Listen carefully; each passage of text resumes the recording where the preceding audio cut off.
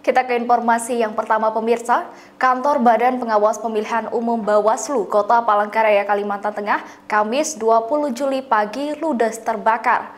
Belum diketahui secara pasti penyebab kebakaran, namun api diduga berasal dari ruangan arsip. Di muka MIP tahu udah dua, ya kasih karena udah memadam lagi. Kebakaran di gedung Bawaslu, infonya Kobaran api melalap bangunan kantor Bawaslu Kota Palangkaraya, Kalimantan Tengah yang berada di Jalan Cilikriwut kilometer 3,5 Palangkaraya pada Kamis 20 Juli pagi. Banyaknya bahan yang mudah terbakar di dalam kantor yang berkonstruksi semi permanen membuat api dengan cepat menjalar dari ruangan yang satu ke ruangan yang lain dan sulit dipadamkan. Tim pemadam kebakaran yang tiba di lokasi atas informasi dari masyarakat langsung berupaya melakukan pemadaman dengan mengerahkan sejumlah mobil damkar dibantu relawan dan BPK. Kurang dari satu jam, api berhasil dipadamkan petugas. Namun seluruh bangunan telah habis dilalap si jago merah berikut peralatan kantor, dokumen serta uang tunai 100 juta rupiah di dalam brankas.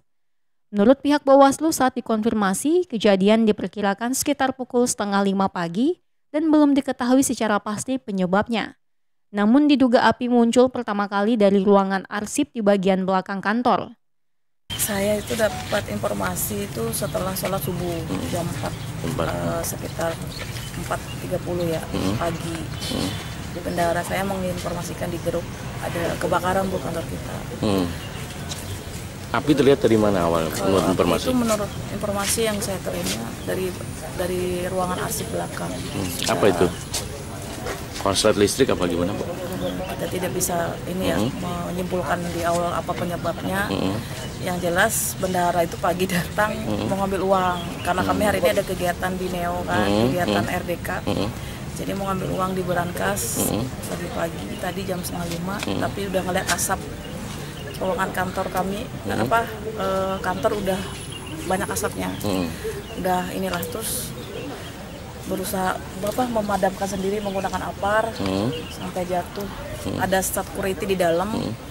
di dalam satu orang hmm. gitu kan ya api cepat gitu kan hmm. kerjanya api cepat hmm. ya udah seperti yang teman-teman lihat saat ini ini seluruh ruangan habis terbakar berisi berisi dengan semuanya bu ya semuanya habis tidak ada yang tersisa hmm. uh, barang milik negara ya. Hmm. Uh, yang jelas ini uh, juga bisa mempengaruhi kinerja kita gitu hmm. kan di akhir masa jabatan kami yeah. sebetulnya kan di tahun 2023 ini kan kita AMJ-nya berakhir ya, hmm. tapi kan kita tetap harus tetap menjalankan tugas dan kewajiban kita sebagai penyelenggara pemilu.